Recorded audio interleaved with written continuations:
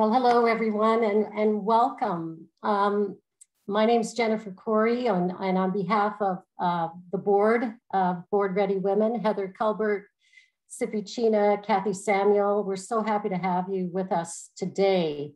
Uh, we've had um, over 180 registered for this uh, exciting session, so we're, we're really, really thrilled that you can join us.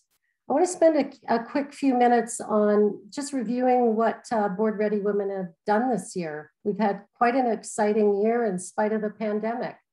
On uh, February 9th, we had a session on proxy advisors, their roles and their impact and the best practices and how to engage with proxy advisors. On April 26th, we had a discussion on strategy and imperative um, in, in ways to think about strategy during uncertain times. And on October 13th, we had a fantastic panel um, about discussing what it takes to be an effective and valued board member. Um, the other thing we've done is we've actually populated our tools section with um, what we have uh, heard, uh, a variety of super good tools for women that are trying to get on their first board, some interview guides, some formats for board CVs, etc.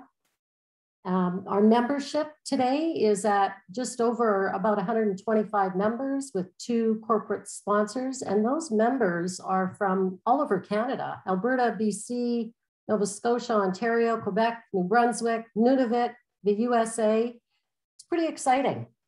Uh, another exciting thing that's happened with us over the last six months is we've had over 28 companies come to us uh, for search requests for their boards for over 44 positions. So I really implore the members out there in the audience to get your profiles up to date. Go in, put your latest board, your latest experiences on there, because we use that data as our search engine when these uh, organizations come to us.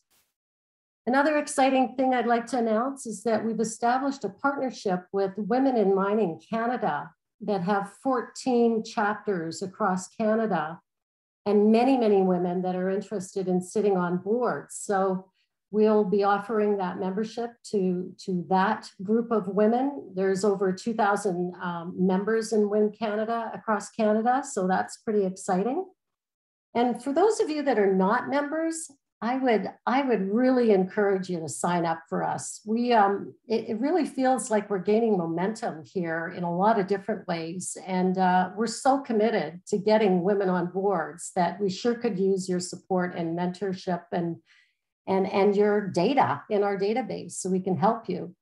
And also a shout out to any corporate sponsors out there that you know would like to to help uh, with with this endeavor. It, included in that uh, membership would be, you know, up to five members that can use our tools, come to our events, uh, be part of that, and they can be five members at different times. So I'd really ask you to think about joining if you're not already a part of our membership, but we'd sure love to have you. Finally, I thought I'd share some uh, interesting statistics that we came across. Um, the Canadian Securities Administrator's seventh year review included disclosures of 115 uh, TSX listed Alberta companies. Um, and some very interesting stats that show we're making some progress. Women hold in Alberta of these companies 21% of board positions, an increase from 18% in 2020, and a whopping 8% in 2015. So we are making progress. Still not enough, but progress. 80% of companies have one or more women on their boards compared to 74% in 2020 and only 46% in Alberta in 2015. Again, another, another stat that uh, we're showing progress on. Last year, um, and, and so far in 2021, by the way, 34% uh, of board vacancies were filled by women an increase from 25% in 2017. Alberta's largest companies continue to have the highest percentage of gender diversity among board members. Of the Alberta-based companies that form part of the TSX 60 index, 34% of board positions are held by women. and 100% have two or more women on their boards, and 89% report one or more women in their executive ranks. So, you know, that gives me and, and our team here at Board Ready Women some very um, hopeful stats on, on the direction and the trajectory this is taking. So um, good news, some good news. We can do better and we're gonna do better. Now I'd like to turn to our very exciting event today. I'd like to introduce you to Martha Piper and Indira Samarasekera. Oh, I think I said it right, so Indira. um, who are the authors of Nerve Lessons in Leadership from Two Women Who Went First. Really briefly, Martha Piper served as the first woman president of the University of Alberta and has been a director of the Bank of Montreal, Shoppers Drug Mart, and TransAlta Corporation. An officer of the Order of Canada, she was born in Lorain, Ohio, and lives with her husband, William Piper, in Vancouver, British Columbia. Welcome, Martha. And Indira served as the first woman president of the University of Alberta, is a director of Magna International, TC Energy, and Stelco. She's also served as a director of the Bank of Nova Scotia. She is also an officer of the Order of Canada. She was born in Colombo, Sri Lanka, and lives in Vancouver, British Columbia. With that, I'd like to turn it over to one of my friends and board members of Board Ready Women, Heather Culbert. Thank you, Jen, and uh, welcome everyone today. And I just wanted to make one small, um, I think, correction there. Martha, you were the first uh, female um, president of the University of Toronto. Is that correct? No, the University of British Columbia. UBC. She said University of Alberta. I'm going, I thought it was U, U of T anyway. I didn't have it in front of me. Anyway, University of British Columbia. Sorry about that. Anyway, welcome everyone. And, and thanks to everyone for joining us today to discuss this fantastic book, Nerve. And that's probably backwards on your screen, but this is the book that has been written by, uh, co-authored by Martha and Indira. And uh, so thanks so much, Martha and Indira, for joining us. We're so appreciative of you taking the time uh, to share with us as we all transition from our senior leadership roles to uh, that of being on boards. I have read your book and I'm very excited for you to share your perspectives and leadership lessons. And I very much look forward to moderating this panel. But before I start, I just wanted to uh, see if there's a few things you wanted to say just to kind of open up the discussion. So Indira, do, do you have a few opening comments you'd like to share? Well, Heather and, and Jen, first of all, uh, thank you so much for uh, inviting us uh, to participate. Uh, it's good to be back in Alberta, so to speak, virtually, uh, joining you. Um, my comments are, you know, when I think about board ready women, I'm, I'm just, I can't help but think, I wish you were there when I became a board member. I mean, the organization that you are building, and as Jen said, has momentum, is going to be invaluable as we are on a journey and we haven't got to the destination. So uh, I'm very pleased uh, that to be part of it. I'd also like to say it's been an absolute thrill to write this book with Martha. Um, Martha and I worked together at UBC for many years before I left for Alberta. But it's interesting when you write a book how well you get to know another person. And, you know, uh, the nerve, the courage, the inspiration, and the lessons I've learned from her are just amazing. So it's delighting to be here today uh, to have this discussion uh, with all of you and with her. Very good. Thank you. Martha. Well, I echo Indira in terms of thanking Board Ready Women uh, for inviting us and also congratulate you. I was so taken by Jen's kind of summary of what the progress you've made. It's quite remarkable and well done. I mean, I wish, as Indira said, we had had this kind of resource 10 years ago. Um, let me just say a little bit, if, if I may, Heather, about the title of the book because people often ask us, what did we mean by nerve and how does that associate with boards? And, and that, of course, is what we're focusing on today. Some of you may know I'm absolutely crazy about Georgia O'Keeffe. Um, she lived, you know, in the early 20th century and painted at a time where women weren't painting. And all the artists of the day were going to Europe to study with the Impressionists. And she said, No, no, no, no, I'm going to paint what I want to paint. I'm not going to paint what other people paint. And she went out, as you know, to New Mexico and painted skulls and flowers and landscapes. And if you look at her paintings, you will see they're pretty nervy in many ways. And she has a saying that's over my desk that was given to me by a friend in Alberta when I left. And the saying is this it takes more than talent, it takes a kind of nerve, a kind of nerve, and a lot of hard, hard work. And we love that quote. And we often use it with women because we it's very reassuring. You don't have to be particularly talented. And we know how to work hard. But often what we lack is nerve nerve to do things a little differently, nerve to speak out, nerve to take a stand that might be against the flow, nerve to act decisively, nerve to be unliked, if you like. And as Indira and I looked at it in the book, uh, I think it really reflects the role that women have now on boards. They have to step up, sometimes do things a little differently than their male counterparts, have the nerve to confront power, have the nerve to influence, nerve to speak out. So that's kind of the capturing of the title, but I think it runs through the book, and we hope that it resonates with women today.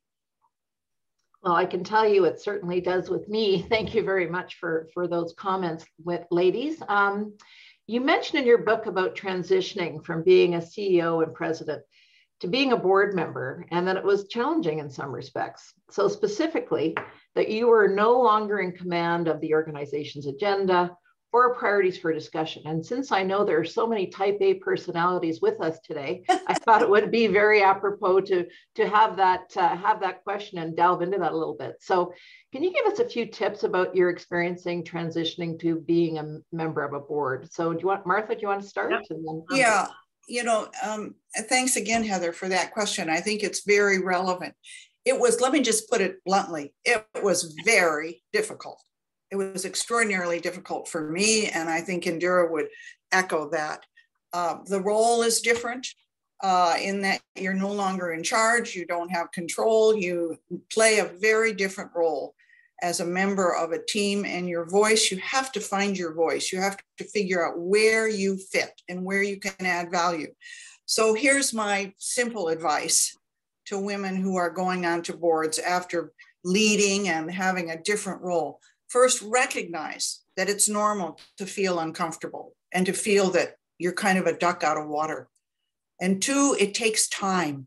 Don't be impatient. It takes time to find your voice and to figure out where you sit. But how do you do that? One of the things Indira talks about in the book is that she really watched other board members how they function, the ones that are really seem to be doing it well and try to emulate some of their behaviors. I typically, my default was take a course. And so, you know, I read everything I could. I went to Harvard, I went to Wharton, I took courses on uh, how to be the best director in, in a corporate kind of setting. And I also identified women mentors not necessarily on the board, the board I was serving, but women who had served on other boards or were serving on boards who I could confide in. And this is where Board Ready, I think, is just so wonderful. You've got a network of women you can draw on, and you must do that. And then finally, don't underestimate the role of the chair of the board. You know, I think the chair of the board can be incredibly constructive and instructive. And if you can find the nerve to you know go and speak with the chair and seek their advice because they want you to succeed. And they can best tell you where they see you fitting in. So those are some of my suggestions.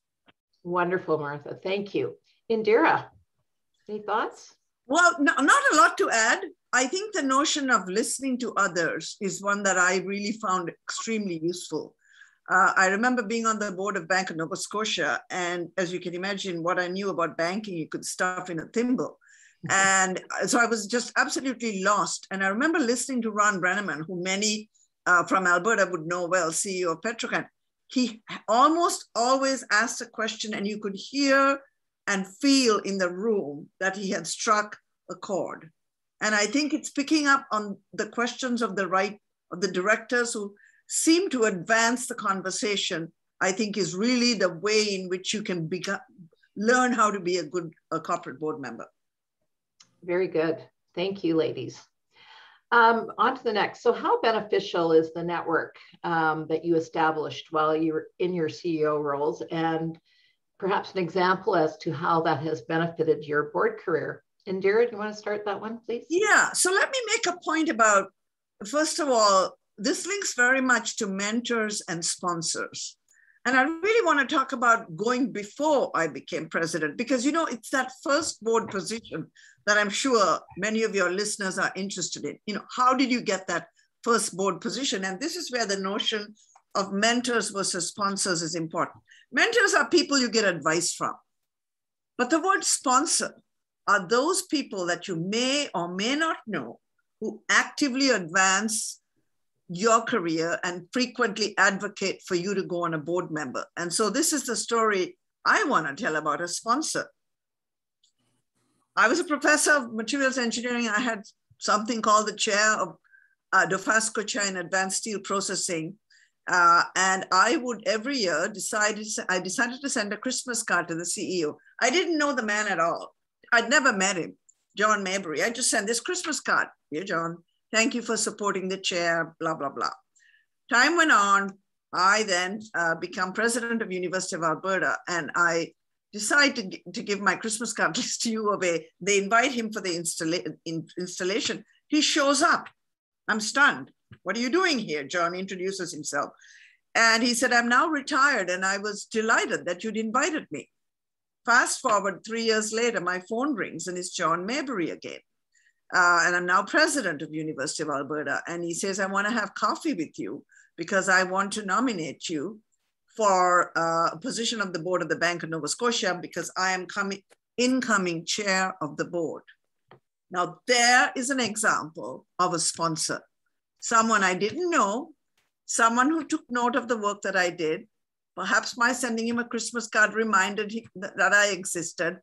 But most importantly, when I asked him, so why do you think I can serve on a bank board? I don't know anything about banking. He said, because you run a complex institution. Uh, the bank wants to expand its footprint in Alberta. Uh, U of A is an important institution in Alberta, and you're a woman, and I think it's time we had women on the board. So I, I tell the story because it's those individuals who observe you and sponsor you that get you your first board position. Mm-hmm. Totally agree. That's how it happened for me as well. Um, Martha.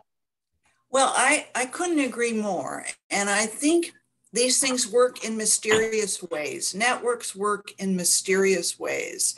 And they don't often, they don't always have immediate impact. But over time, they are extremely important. And my example, my Alberta example, if you like, is how did I get on the board of TransAlta? All right and I know nothing about electricity generation, right?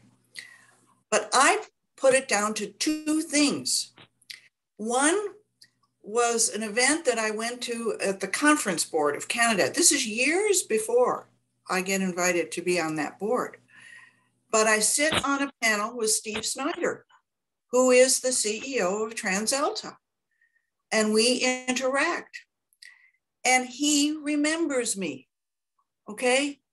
He remembers me. And this is probably five years before he comes to me and invites me to be on the board, along with another person on that board. Sometimes the networks have to be interchanged.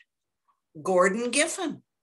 Gordon Giffin, at the time I worked with him, was ambassador, US ambassador to Canada during the Clinton years. He was on the board of TransAlta. He worked with me at UBC to create the US Studies program. We worked together. I never hear from Gordon for two or three years. pick up the phone. Would you like to think about being on the TransAlta board? I am convinced that had I not been at that conference board meeting and on the panel, and had I not had an interaction with Gordon Giffin to establish a US Studies program, that network, I would never have gotten on or wouldn't have gotten on in the same way the TransAlta board. So these networks, and it is sponsors, it is people who recognize you, not when you're trying to get on a board, but before you're trying to get on a board. Mm-hmm. It's how you perform in doing what you're doing, and people will recognize it and they put it in a little part of their brain. And then and it comes up in mysterious times. So my message is do what you're doing extremely well and create these networks so people recognize when you're doing something extremely well. Mm-hmm, mm-hmm. Thank you for that. And, and it's also about being seen, right? So participating on panels, um, you know, when you're asked to speak at something, uh, you know, coming and, and, and speaking on, on something that you're passionate about or, or that you have expertise in, it's important to be seen. It, it is. Let me just say though, it's important to be seen, but you have to use that to your advantage. Mm-hmm. You can't just go to a reception and mingle. You have to go and be seen and be doing what you do well, contributing, adding value to the discussion, making a point. Actually, you know, it's networking is not just going out to dinner and sitting next to somebody. It's actually adding value and distinguishing yourself when you're at that dinner. Right, exactly. Very well said. So you indicate there's never been a better time to be a woman leader seeking a corporate board position. And in your book, you refer to our time has come, which I totally agree with. Uh, what is your advice to women who are seeking a board position when they are qualified, but yet the phone is not ringing? And I think this is a frustration I can tell you that I certainly had um, for many years when I, you know, uh, retired as a as a senior executive. So why isn't the phone ringing? Martha, why don't you start with that one? Well, I'd like to turn to Indira on this because she okay. has a wonderful story, and I think it's incredibly okay. instructive. So, um, I was I was on the board of Scotiabank already, but nonetheless, I'm I'm not a typical corporate director. That was entirely fortuitous from the story I told you. I was retiring from uh, uh, U of A, and I was wondering whether my phone would ring at all, and would I get a, join another corporate board. So I approached the chair of the board of Bank of Nova Scotia, Tom O'Neill, and asked his advice. And he said, You know, Indira, when I stepped down from PricewaterhouseCoopers, I worried about the same thing. I worried that I would not get the boards that I wanted to be on. So here's what I did. He said, First of all, I let many colleagues know I was available. Secondly, he, uh, he said, I studied the proxy circulars of 20 some companies narrowed it down to 10 where I really felt I could add value. I knew either one of the directors on the board or I knew the CEO, and I wrote 10 letters. Okay. And he got on board. So he said, You need to do the same thing. So I said, Okay. So I studied proxy circulars. And I said, Well, where would I fit? Well, I'm a mechanical engineer. Cars, nothing better than cars for a mechanical engineer. And so I zeroed in on Magna. And I discovered that there were two people on the board I knew, but one in particular, Peter Harder, who had been a deputy minister. And I had, you know, encountered him in government. So took me two weeks to find the nerve to send him an email. But I did finally, after about two weeks of humming and hawing, I sent an email and said, you know, I know you may be looking for a director. If you are, not now, even down the road, 24 hours later, I get a message back saying, Your timing is perfect. Let me introduce you to the chair of the board and the CEO. So it was about reaching out, taking the advice of men who seem to do this effortlessly. And women need to learn to ask, but it's also important to figure out which board you want to join and why, and what value are you going to add, and how do you appeal to the person on the board with who you have a good relationship, who knows what you can bring to the board to be your advocate. So that was my example. And uh, I think very few women actually find the courage or the nerve to do that. Mm-hmm. Very good. Martha. And, yeah. And so, Heather, my first comment would be join board ready women. That's the first thing. I mean, what you're doing is fabulous for women. And, and as we both have said, uh, you know, we wish we had had that. But here's what I women come to us all the time and ask us, my phone isn't ringing. How can I make this happen? And here's kind of, I mean, until I had heard Indira's story, I mean, my goodness, that's an amazing story. But here's what I often tell women first, be selective, which is what Indira was saying. Do your homework. You know, um, a very wise woman once told me it's easier to get on than to get off. So, you know, pick pick the boards that you really think interest you, that you have a, uh, I don't know whether it's an expertise, but a passion for and understanding of the industry. Second, almost every board now, certainly uh, the, the large market cap, but even the smaller boards, are no longer just coming up with who does Joe know. They are actually engaging consultants to help them find good new directors. And I would suggest that um, women make themselves known to these consultants.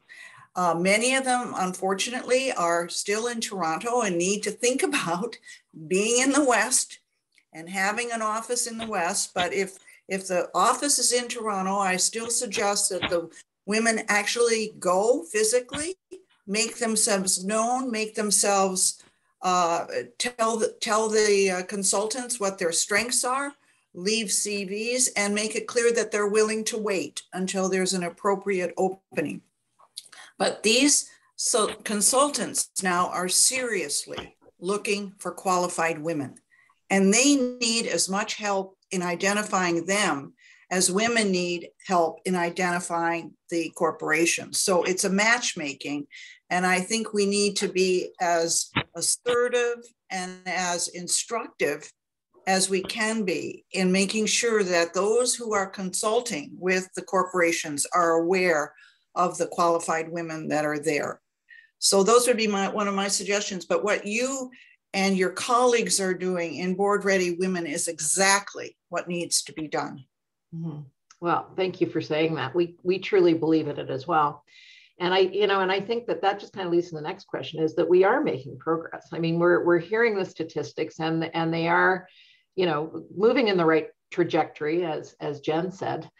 Um, but we still know that there's still underrepresentation on boards um, for women and diverse populations even though evidence points to the benefits of better representations on the uh, of the populations that we serve. So what is the best approach for to advocate for women and discuss this with boards and how do you rectify the situation? Who would like to go first on that one? Maybe maybe I'll take I'll take that. And, right. and Heather, if I may, I'd like to read something from the book. Certainly. Um, it's a section around uh, just this question how do we as women help boards uh, find other women or move that agenda? So let me just share with the attendees a section of the book. It said, when I assumed the chair of the governance and nominating committee of BMO, corporate boards were being challenged to adopt diversity targets and policy.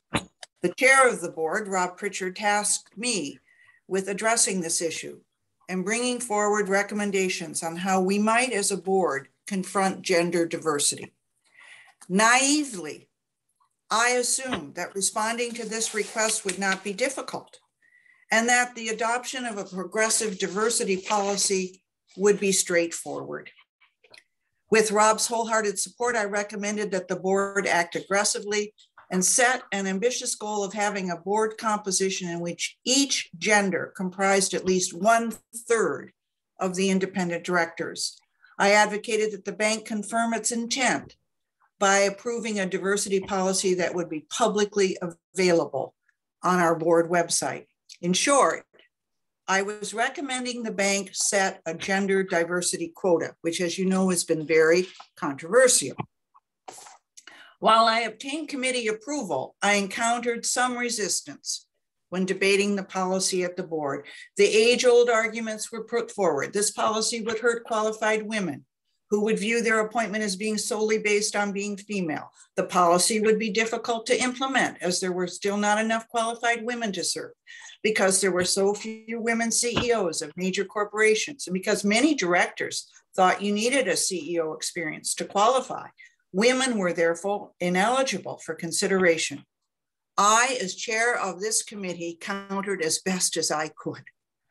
I gave statistics on women who had advanced degrees, on the numbers of women who had reached the highest levels of achievement and who had distinguished themselves in various fields. I argued the importance of having a diverse set of directors who were more representative of our employers, customers, and shareholders. I continued with new evidence that demonstrated women were the financial managers in their households and were acquiring wealth at a high rate. The world was changing, and women were a major factor in that change. The bank needed to embrace this change. Fortunately, the chair of the board, Rob Pritchard, and the CEO, Bill Downe, both strongly supported the policy. And after some rather rigorous debate, surprisingly for me, it passed. Once the policy was established, it had immediate effect. We had been mucking around on this for years. It required a policy, it required a quota. Immediately, when we were recruiting new directors, the policy was always front and center, driving who was being nominated and considered. We charged the search consultants with bringing us the names of women who had all the qualifications we required. In short, it worked. So, my point is as women, and as women who are on boards, we have the responsibility and the determination to ensure that these boards have a diverse group of directors. And we need to step up and work and counter all the arguments and I'll go as far as saying, and I never was a fan of quotas, but right now I think quotas play a role. And I think it may be just a medium role. At some point, we may not need quotas.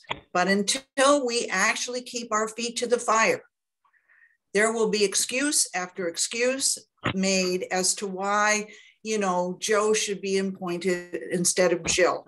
So, you know, I I think that as women who are on the boards, we need to step up and assume that responsibility. Right. Thank you very much. So, and and so you would not argue the point that there aren't enough qualified women then, because absolutely that's, that's one of the that's one of the, uh, the responses that I get from time to time. Well, there just aren't well, qualified women. And also, that the only reason that they'd be appointed was because they were a woman and therefore they would do women more harm and right. all of those arguments are ridiculous. They're red herrings.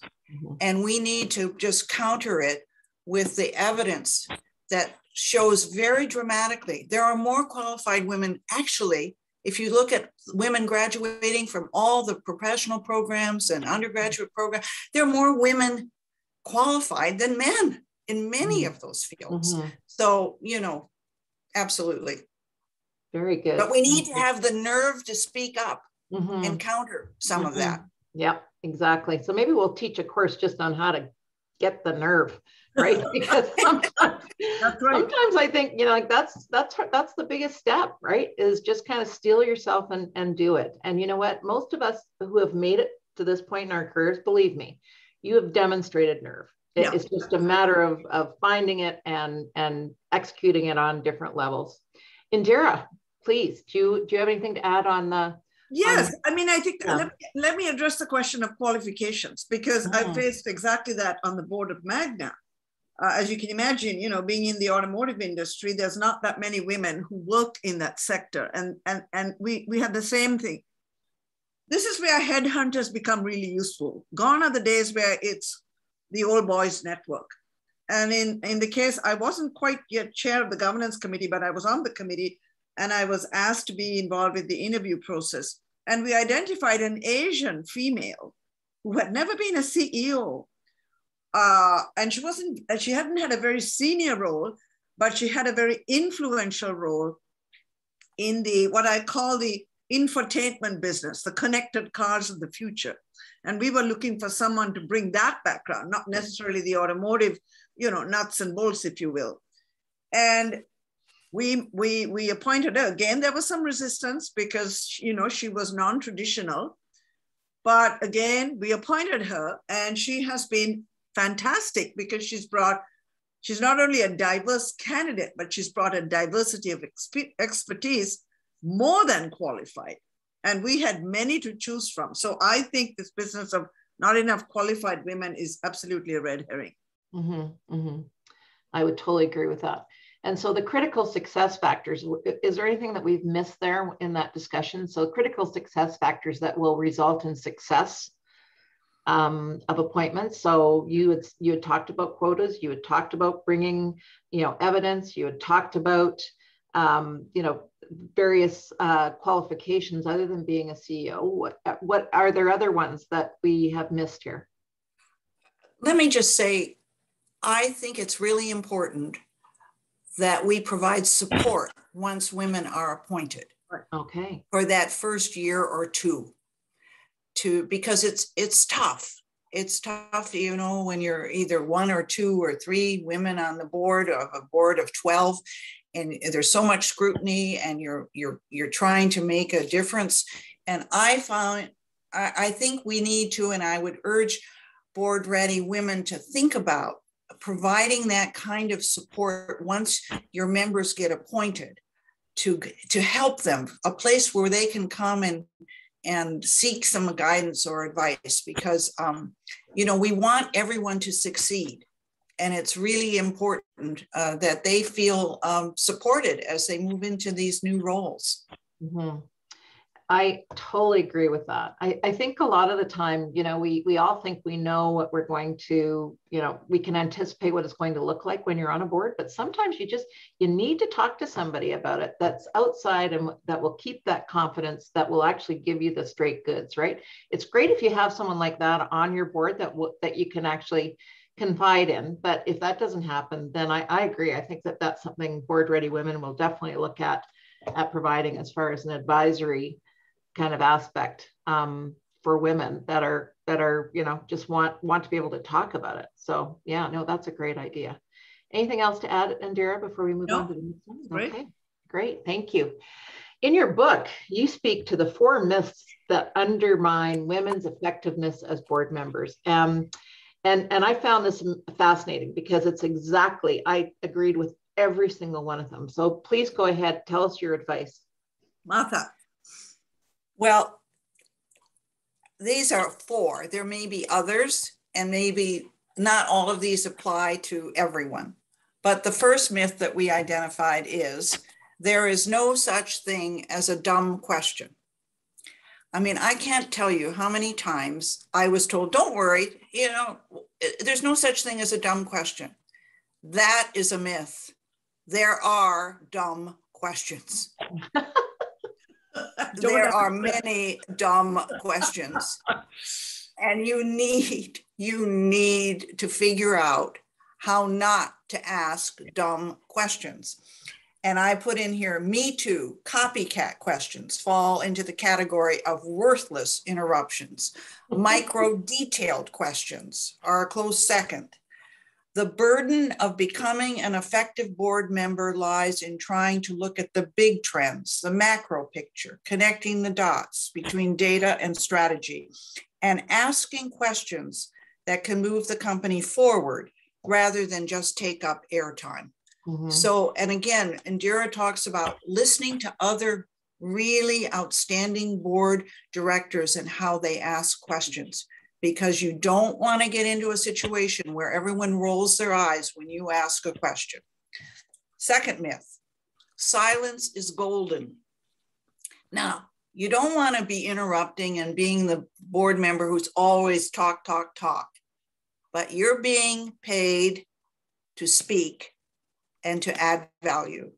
And no one wants a board director who never says a word. And again, I don't mean just seconding emotion or saying, yes, I agree with what John just said.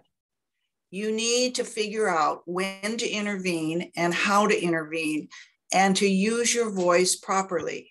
Uh, so silence is not golden. Three, myth three. This one is more controversial, but I firmly believe it. And the myth is limit your interventions to those areas in which you are an expert. Often people will say, well, I was put on a board because I'm a human resource person or I'm a finance person. And therefore, those that's where I'm expected to, to speak. And I think women tend to be uh, tend to do this more. They end up being pigeonholed as only being able to speak about marketing or only being able to speak about communications or government affairs or whatever. Again, you're not being paid to just be an expert. You're being paid to be able to look at the big picture, bring wisdom, learn how to intervene and to push the corporation forward on the major issues. So, you know, our experience suggests that women directors tend to become easily pigeonholed. And we need to think about how we can assist women to have a broader perspective. Think about many of the male directors who come in and who what you know who who don't limit themselves to their one area of expertise they're all over the map and and so i'm not sure that we want to always emulate that, but we need to be sure that we don't get um, just narrowly uh, almost defined by our own expertise. And the fourth myth, myth is you can go it alone. And we've already talked about that. You really need to be part of a team. You're one of many around the board. You cannot uh, ta- tackle the, the corporation by yourself but you also need to look for where you can find assistance and support. And I was so fortunate because I identified a woman director who had a lot of experience, and I really used her to help me in those early stages. So those were the four myths we identified, and I'm sure there are many more, and Indira may want to speak to some of them as well. No, Martha, those, I mean, I wouldn't disagree. Let me give you an example of the kind of question that one should ask. And I, this was a piece of advice I got when I was first joining the board of Bank of Nova Scotia. I was terrified. And I remember saying to an alumni, uh, alumnus, Bruce Regal, who was actually a senior vice president at Deutsche Bank, that I was terrified. And he said, would you like to talk to the chair of the board of Deutsche Bank and ask him why, uh, what kinds of questions, what kind of a directors that banks are looking for? It was the best conversation I'd ever had because he said to me, Look, we don't need any more bankers. We've got plenty of them. And look what happened to the banking system. This was after 2008, right? Where were the experts asking the question why these so called uh, investment grade asset backed mortgages were giving such high yields if they were so, so that if they were so safe, right? Mm-hmm. Where was the board member that didn't ask, are you sure these investments are risk free and so on. So what you learn from that is the kind of the quality of the question you need to ask is to challenge the fundamental assumptions that experts often miss or don't are blindsided to. So I mm-hmm. think the business of the quality of the questions, as I said, uh, is absolutely uh, important to making a contribution on the board. Mm-hmm. Heather, could I could I just add one thing to that? Absolutely. We we've identified what we think is the right thing to do. And it sounds easy, but it's not. And I still second guess almost every intervention I ever make at a board. Um, and I think and again, this is a generalization, but I think women often, and it's the nerve, they fear that what they're going to say, especially when they get out of their lane a little bit, will not be valued or is inappropriate or is irrelevant or whatever. And so we hesitate. Should we intervene? How do we intervene? And when we garner up the nerve to say exactly, to ask the kind of question that Indira just identified, you know, is this really? I mean, here are the men, oh, this is a great thing. We need to do this. We're going to go, you know, and you're thinking in your back of your head, gee, I'm not so sure. I don't, I don't know this is risk free. should I say anything? Mm-hmm. And when you finally conjure up the nerve to say it, you know, kind of there's a bit of silence and people may or may not listen. But then what happens? You go home and you worry. Why did I say that? I shouldn't have said that. Mm-hmm. Oh my goodness, what are people going to think of me? Mm-hmm. Why did I why did I ever think I should could have said anything like that? This is what we're talking about with nerve. Part of that is just ingrained in us to second guess ourselves, but somehow we need to have more confidence in our own abilities and our own way of doing things and find the nerve to actually say what we think needs to be said. Mm-hmm. Yeah, no, there's there's a much much truth in that for sure. And I just wanted to uh, again say that you know this is this is not about male versus female. I just you know, and I know that that wasn't your intention, Martha. The intention is is that who is going to actually you know whether they be male or female who can you actually get to to be supportive of you on a board? How do you how do you uh, work with with uh, male or female? So it, it really doesn't uh, it's not one way or the other but women do have a hard time finding the nerve. I totally agree with you. Totally agree with you. Uh, my one myth that that uh, op- it, it's not even a myth. It's just people need to know the difference between an operational question and yes. a governance related question and it drives me crazy. You know yes. you had talked about micro detailing but yep. it drives me crazy because it does just really show that they don't understand their role as a board member right? So, absolutely. so it's it's really really important. Um, that's one of the things that i've noticed all right, broadening connections. And I think we've already kind of, you guys have already given us some great plugs here. But again, broadening connections uh, to women leaders, consulting with retired leaders, and engaging in your network. Why is it important and how relevant are organizations like Board Ready Women at this time of our evolution? Now, I know that that's probably a very leading question, but I, you know, I also believe that, you know, like network, network, network is probably a, a message that people need to get strong and clear. So, is there anything you wanted to add to that? Yes, I think it's about, and I think board ready women, uh, you know, it, the opportunity to contribute in a place like board ready women, right? Not just go for networking, but help build the organization, Heather. Mm-hmm. Help mm-hmm. contribute, help think about how board ready women can be uh, more impactful. I think that's really how uh, your, your, your, your value becomes demonstrated. Um, the other point I wanted to make is, you know, we tend to get um, to the point where we say, you know, serendipity is some word that we have not talked about, and we talk about it in our book. Go to places that you normally wouldn't go to because you may meet someone whom you hadn't ever intended to meet. And I'll, a very brief example. The day after I retired, literally two days after I retired, I go to a Canada Australia forum. Why would I want to go to a Canada Australia forum? I don't live in Australia. I'm not a trade minister. I'm not none of this but I go because I was invited. And I'm sitting next to Derek Burney, the former Canadian uh, ambassador to the United, uh, United States. I'd met Derek on and off, you know, before that. Six months after, he said, What are you doing here? And I said, I've retired, just retired, come back to Vancouver. Six months after I saw him at that conference, my phone rings and it's Korn Ferry. They're looking for a board member for TC Energy, then called TransCanada.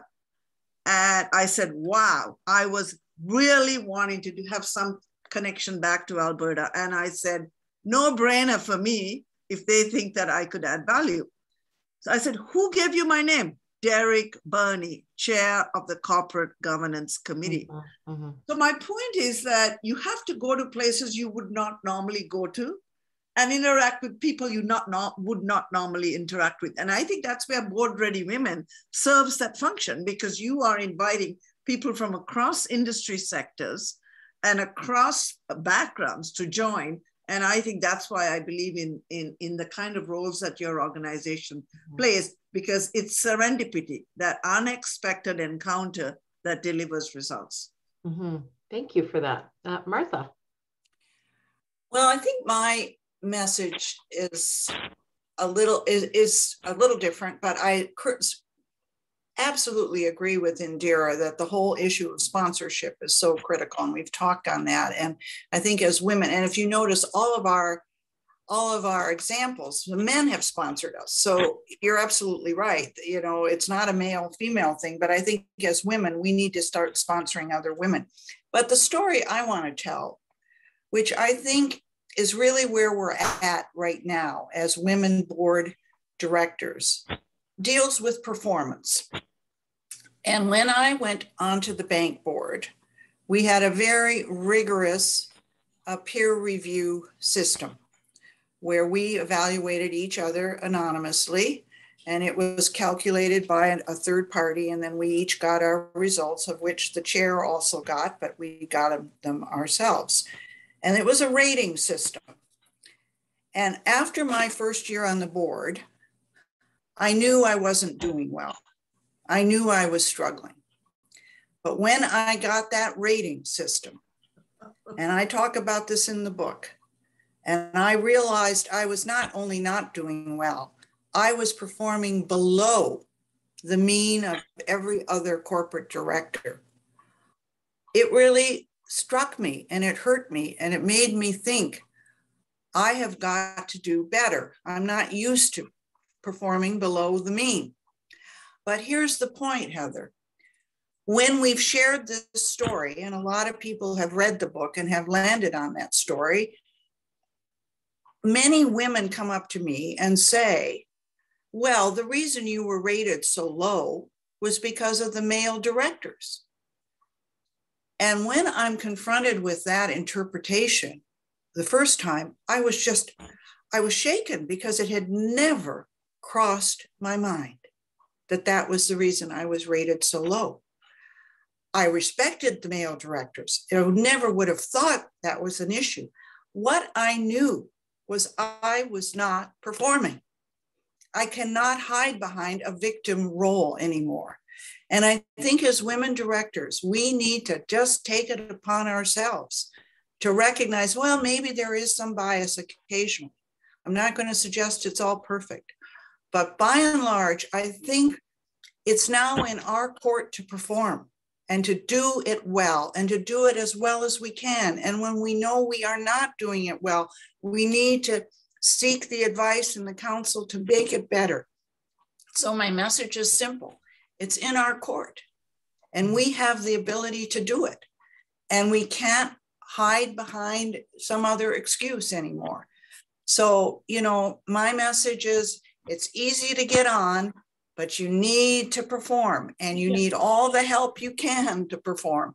and that's, you know, the more we as women can help each other perform well, the better we're going to be in terms of having really diverse boards. Mm-hmm.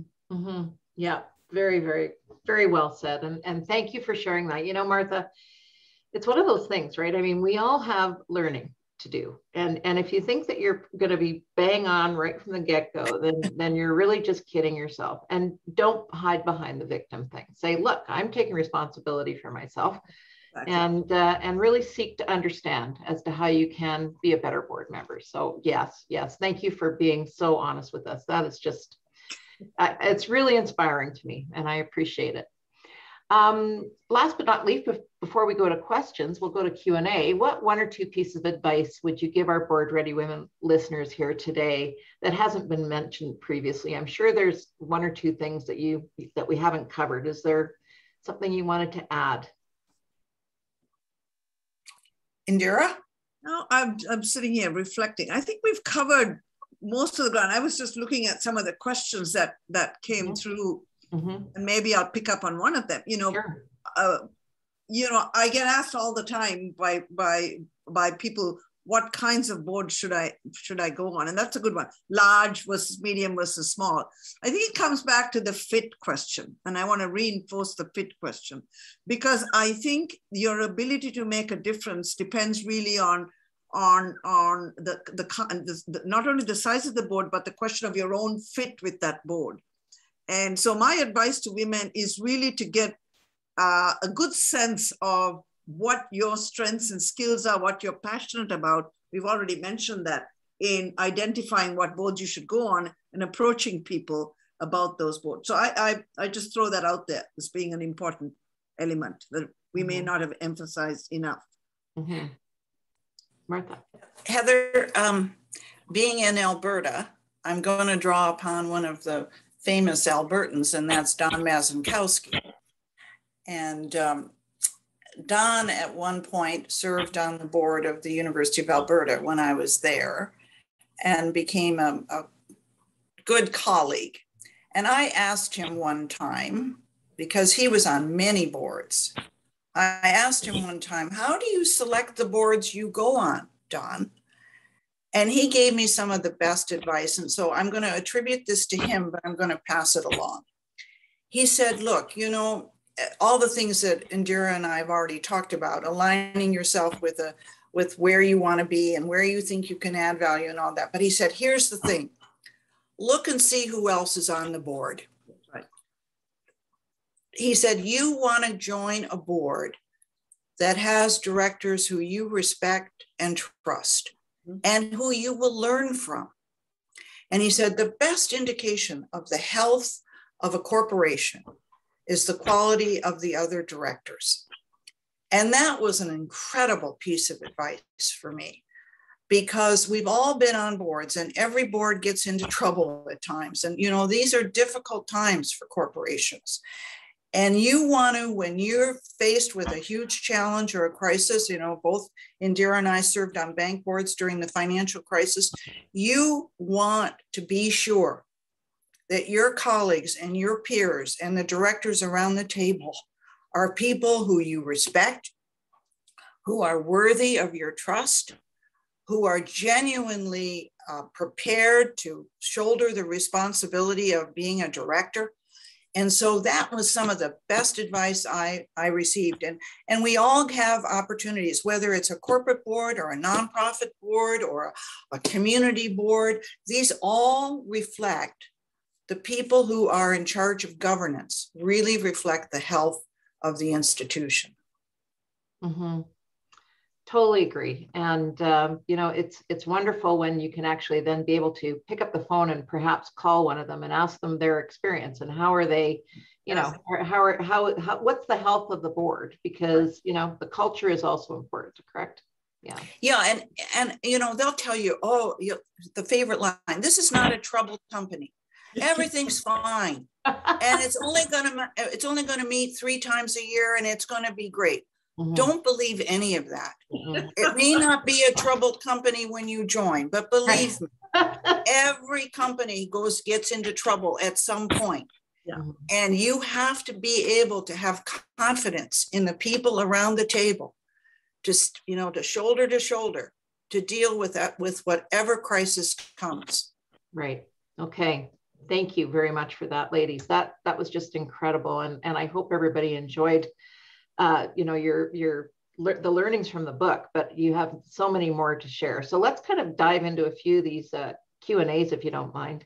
Um, we've got some excellent questions, and you know, one of the ones that I noticed right off the bat um, was regarding adversity. So uh, it was in the chat here. I'm just going to bring it up. Where's my chat? Um, Katerina, for some reason, okay, let, let me just close this. Uh, let, let's start with this one. Often at the boardroom table, I've observed, um, you know, people that speak above each other. It says here, men speak above each other. Um, sorry, I'm just trying to get this thing. There we go. Um, and speaking before somebody else is finished. This, this may not feel comfortable to some people, including women. What advice do you have when you're faced with that dynamic? Let's start with that and I'll find the other one that I was looking for. Well, I think first of all, you know, we all observe behaviors that are less than ideal uh, in, in so many circumstances, right? And I think that the reality is you have to be um, able to set a high standard yourself without getting put off by someone else's behavior.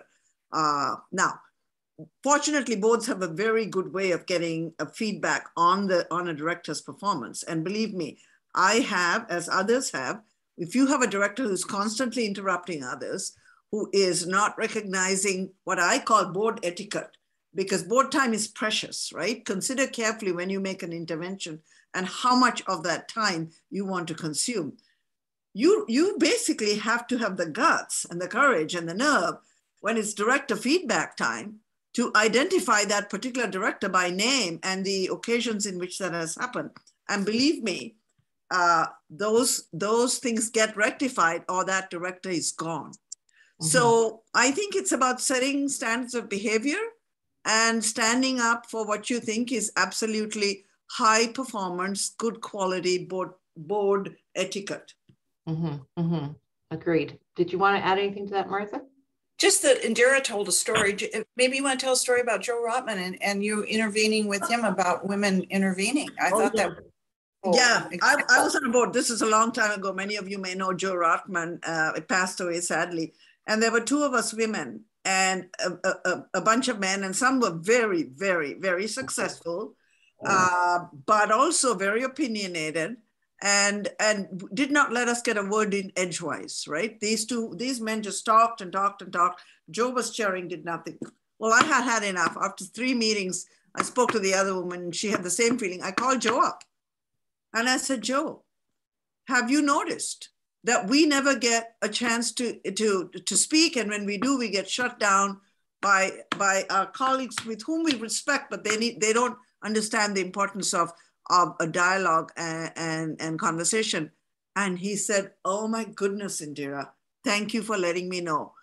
Every time I saw the man after that, he and he had to interact with me. He said, This is the lady who reminded me about the importance of ensuring everybody had a voice, right? Mm-hmm. So I think you just have to politely point out when people are out of line. Mm-hmm, mm-hmm. Yeah, calling it is good. Honestly. Exactly. Yeah and doing so respectfully mm-hmm. calling out the issue and not the individual but saying right. this is what this is a standard with with to which we, i think we have be called upon we need to mm-hmm. adhere to mm-hmm.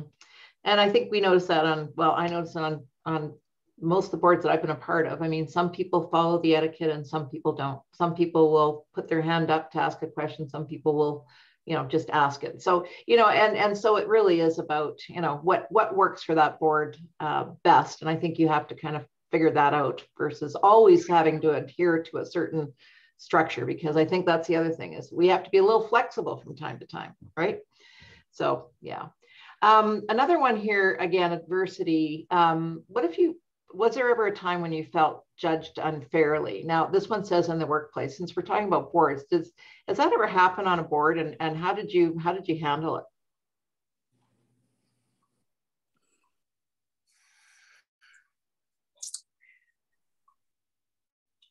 I'm trying to I'm trying to think of. Yeah.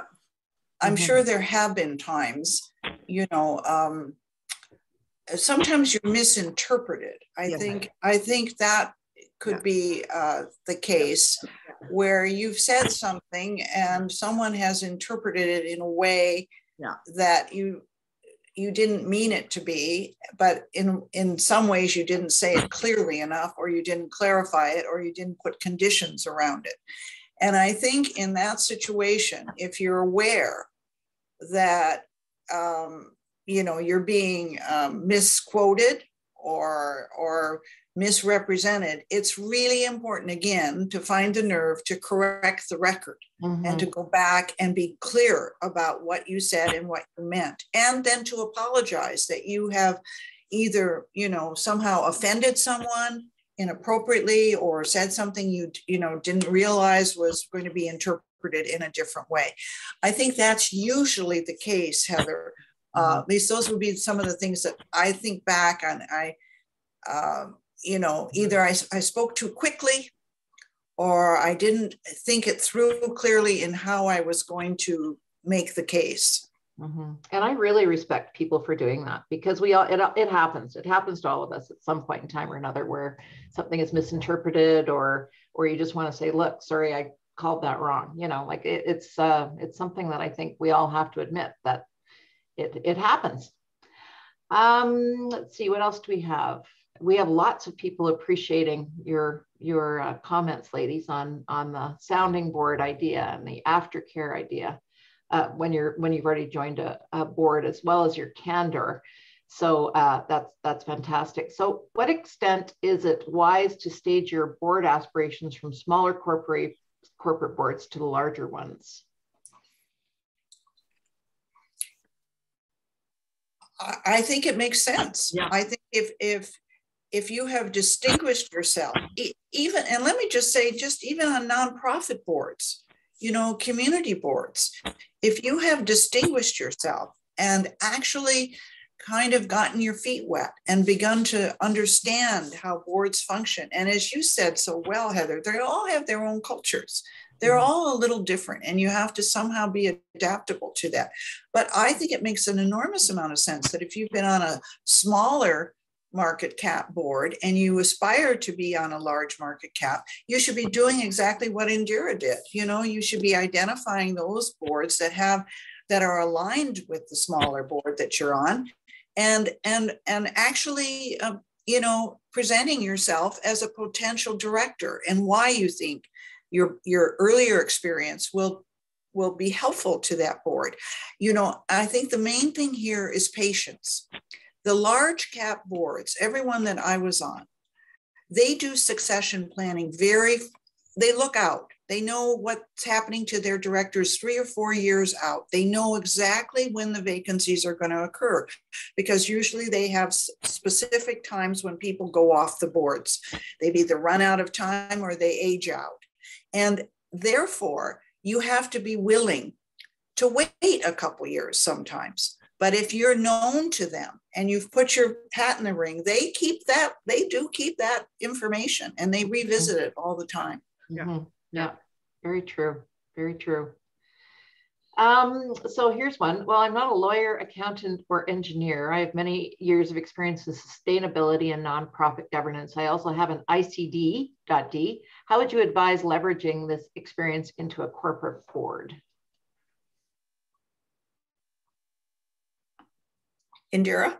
So I, you know, I think, first of all, I think it's the advice that we've already given, right?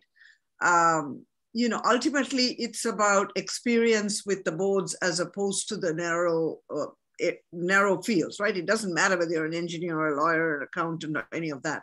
I think what really matters is have you had experience with governance, right? With with helping to provide oversight and strategic direction for whatever organization you've been part of. And I think that's what you're trying to sell. And how successfully have you done that?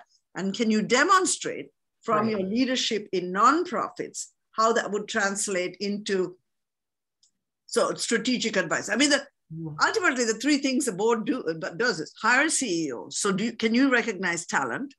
Uh, secondly, can you give strategic advice? Do you understand risk? End of mm-hmm. story, right? Those are the 3 mm-hmm. things you, you mm-hmm. have to do. And so if you can distill your nonprofit smaller board experience into how you've done those three things, I think that's the best way to go about finding a board and then, of course, finding the right fit. Mm-hmm, mm-hmm. And then this idea of targeting, right? If you if you think that your your uh, skill set will be suited for a specific company, then that's the time for you to kind of yeah. say, look, this is why I would be great for your organization. Yeah. So can again, I add, can I add something here? I mean, people on this call might think that Martha and I have been just successful. We've picked up the phone and in my case, you know, the board's answered and I got, I have I have been turned down. Mm-hmm. Right? I did oh, I did sure. exactly what advice I've given uh, this group today, and there was a board that should remain nameless because it was perfectly aligned with my background. And I tried, I, I offered my name up, I contacted people, dead silence, never heard from them. Mm-hmm. So I think people have to be prepared that sometimes you will be turned down, and mm-hmm. that's okay. Uh, you know, whatever the, you know, back to Martha, they, they were looking three years down the road. Maybe they, they had, they were looking for certain expertise. So I think the notion of patience and the notion that it's okay to be turned down, but to keep mm-hmm. trying to find the right one. Mm-hmm, mm-hmm. Very good. Yeah, I agree. Um, would you consider taking a seat on a board if you were to be the only woman? Why or why not? It's a good one. Um, you know, I would say the same thing that Don Mazankowski said. It, the gender is important, but it's not the only factor. And, right. uh, you know, some of the best directors I worked with are men. and I would go to, you know, I, I, I go to the wall for all of them, or, you know, many of them, because they are extraordinary people. To me, it's the quality of the other directors And if they see you as being a contributing member, yes, regardless of gender, I would consider it. Um, as long as you're you feel comfortable that they are looking at you because of what you can bring to the board rather than solely your gender. But honestly, I I I think that you know, you could say, well, does the fact that a board has four women and three men does that make it a better board? Not necessarily. Not necessarily. It's the quality of the individuals that are around the table rather than solely the gender. Yeah, and it and it takes nerve to to actually do that, right? It does and, take and nerve. you have to start somewhere. You have to start somewhere. Yeah, you do. You do.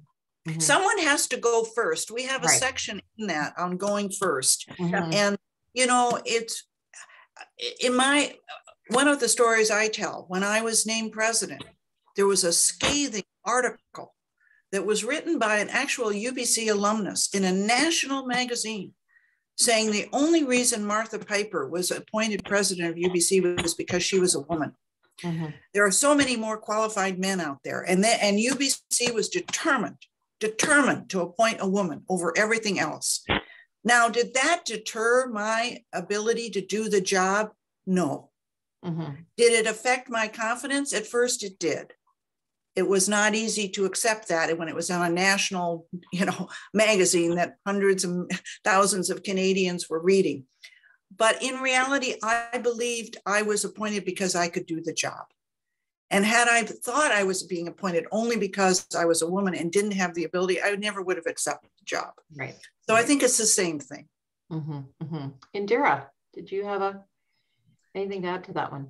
No i mean you know i've I've been in the situation, fortunately, unfortunately, being the only woman in just about everything I did because I was the uh, the uh, one of the few female professors in engineering. But let me tell you about the first woman who was ever appointed as a professor in engineering at UBC, and how important her appointment was for the other women that came after her. Her name was Rabab Ward. She was Middle Eastern by background from Lebanon and she was appointed to UBC when there were no other female professors. And I think the value of, uh, and she was amazing. She did belly dancing as a hobby. And the fact that she was so unusual, and she's electrical engineer, she's now a, a foreign associate of the National Academy of Engineering, absolutely outstanding. I think if women want to, to make social change, you have to be prepared to be 1st mm-hmm. and you have to be prepared to push the envelope.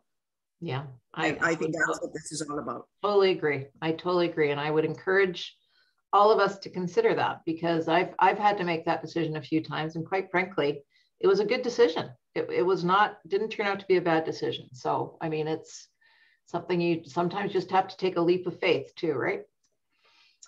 Um, what about this one? Uh, as our uh, number of directors grow, what have you, what have you, as numbers of female directors grow, what have you experienced that you would consider to be unique co contributions women are making in the boardroom? Indira, you talk about that in the book in terms of uh, the ability to look at the total picture, I think. Yeah, yeah, yeah. In fact, that's right. I think the women that really, and I've had this experience on a couple of boards I've served on TC Energy, uh, for example, and the women who've made unique contributions are the women who have the ability to look at the big picture and understand the impending changes, what, what's coming. You know, ESG is an obvious one, you know, diversity is another one, but you know, AI, what's going to shape the workplace of the future, um, all of these kinds of things. And I think the ability to broadly understand the forces that are interacting in our world, the role of China, the role of the trade, role of U the United States, to broadly understand those shifts.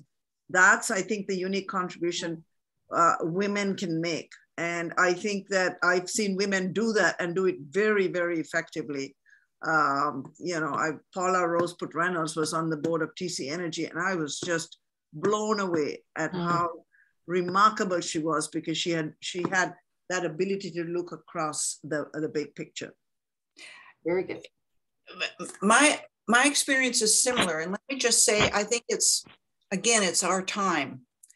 If you look at the critical issues corporations, institutions, organizations are facing right now, yes, they're economic, but those pale in comparison to the social justice issue, the, disru- the unrest, the polarization of, of, of uh, the populations, the discord, the demands of social media, the issues around communication and how we actually um, get our message out.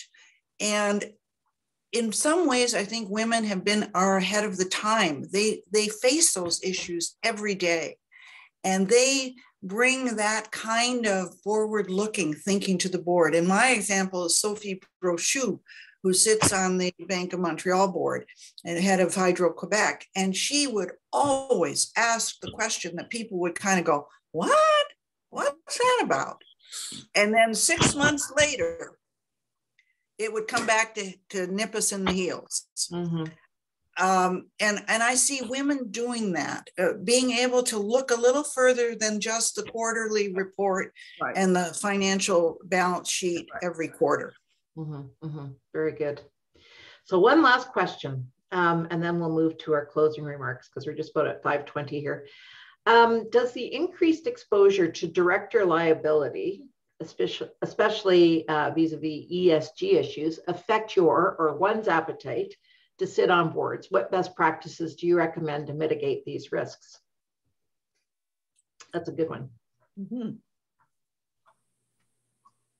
Well, let me just say again, I think you must be very selective in the boards you choose to sit on. And while it's never risk free, nothing is risk free. You want to mitigate your risk as much as you can. So you need to do your homework. You need to read the proxy. You need to read the annual reports. You need to speak to the chair. You need to, to talk to the chair of the governance committee because that really speaks to the issues. You need to look at past agendas. And so, yes, in many ways, the the environment is becoming more complex and of course you want to look at what their liability insurance is and what what how you will be protected. But i think if you do your homework and you recognize that you can't ensure that everything is going to be perfect but if you are convinced, and I go back to the people around the table and the CEO, if you have confidence in them and you have confidence in the in the um, enterprise that you're joining and the purpose of the enterprise and some of the uh, directions the enterprise has taken then i would say you've got to you know you've got to step up you know and and take it as it comes mm-hmm. Mm-hmm. i would agree and indira please yeah, I mean, I think ESG is a, a particularly important one because uh, uh, because of the the the potential for major impact to any corporation, right? If they don't get this right, uh, and I think it's you know the the only way that you can protect the corporation and its reputation is if you do the if you do your best effort. And so I think what's happening with board, for boards is that the amount of preparation you need to do has gone up a notch, right? Mm-hmm. It has definitely gone up a notch. And it's not good enough to perhaps just read the board material and say, I've done my job. It becomes incumbent, I think, about, about board members in, in, to ensure that they are constantly staying on top of these big issues, right? Um, you know, on whether it's climate change or or, any, or government policy, for example, right? If you if you don't if you don't understand where the governments are going, and you know, we had the throne speech today, and you're not on top of the, the, the directions that government of Canada is going, your company could be sideswiped. So mm-hmm. I come back to the enormous responsibility of preparation, of going beyond, above and beyond the business of the company to looking at all of the things that could potentially affect its long-term viability and being uh, on top of that. So that's the only way you can protect yourself. Mm-hmm. And I don't think we can shy away from something because it's risky. Uh, mm-hmm. in the end, if you're a leader and a female and you want to make a difference, you're going to have to go into areas where there's going to be high risk. And that's what Nerve is all about. leader and make a difference. I love it. I love it. I think that those are fantastic words to uh, end our session. Ladies, you're just incredible leaders and your book is fantastic. And I encourage everyone to please get a copy. Um, I, you know, I've been on many boards, but I learned a lot from from reading that. It's just very inspirational as well. So, so thank you very much for sharing that. It's it's very very relevant for for women at every leaders at every age and stage of their career. So um, I'm sure you'll see the link that uh, Katarina has put in the chat function. So on behalf of all of us, and on, and uh, my apologies again on the uh, on the uh, Boo Boo, it's UBC alum as well as the U of A alum, as well as all of us. I apologize, Martha. I was kind of caught off guard there. It's like, I know it wasn't U of A because I know Indira. Anyway, thank you very much from all of us. Um, really appreciate your time and, and good luck and congratulations on the book. So thank you, Heather. Thank you. Thank you. Thank you. Very, very, very well done. Thank you. So I'm going to pass it over to Kathy for some parting remarks. Kathy, over to you. Thank you. Thank you, Heather. Um, and I know Heather said, please go buy the book here we all have our own copy. Please uh, click on the link. And I know it's available in other places as well, but um, here it is. Um, and thank you so much uh, to Martha and Indira, and of course, our own Heather, uh, for this really wonderful panel this afternoon. It really has been one of my favorite events that we've done at Board Ready Women um, since we've been doing this. I love the authenticity and the candor and just really the honesty of the discussion. So um, lots of uh, good advice coming out and I have been taking notes and, and I was gonna highlight um, a few. So um, I remember the, the Georgia O'Keeffe quote that Martha referenced in the beginning. And so I would encourage everyone, all of us really, um, to use our nerve to speak out and step up and confront power and challenge. So whether you're an executive or on a board, I think it will benefit your organization.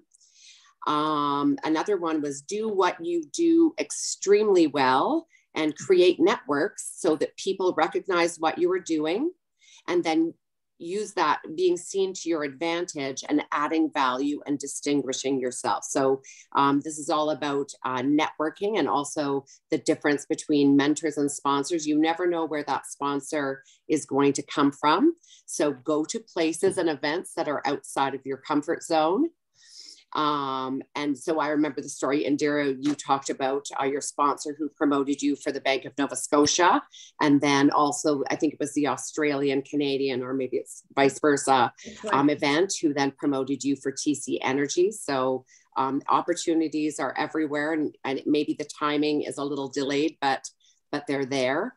Um, and then also with respect to getting your first board position, uh, when you're qualified and the phone is not ringing, um, be pragmatic and and look for where you can add value and know what boards you want to join and why. And then learn to ask have the nerve to ask. So um, i love that. And then really uh, and people who are senior board members regardless of their gender uh, remember to provide support for new board members. Mm-hmm. once they're appointed and i know heather flagged this but i saw it in the chat also that aftercare so um, it's very helpful. And um, my last uh, thing that I've noted from the discussion, that there's lots and um, in the book, but there are dumb questions. so listen to other strong board members and how they ask questions and drive strategy forward and emulate them. So thank you very much. Um, our next board ready women session will be on January 26th. And um, that panel is going to be on shareholder activism and recent trends, including the board's role in managing shareholder activism. And um, we're pleased uh, to be having uh, Wes Hall, who's executive chairman and founder of Kingsdale Advisors, uh, widely considered a preeminent leader in the field um, he will be joining the panel and we'll have a few others. So look out for the invitation and uh, register to join that. And uh, Martha and Indira, thank you for the plug about joining Board Ready Women. Um, um, and Indira, I think you said you challenged everyone to think about how you could help support us. And make it better. So we really do need the support of individual members and corporate sponsors. And I know that Katarina will put a link in the chat. It's also on our website. So I would encourage everyone to please consider um, supporting or sponsoring us. And uh, we have larger sponsorship packages available as well if anyone would like to talk about that. So thank you to everyone for joining us uh, for this really fantastic session today. And um, that is it for that's our last event for 2021. So we'll see everyone in the new year. Thank you. Thank you. Thank you. Thanks, everybody.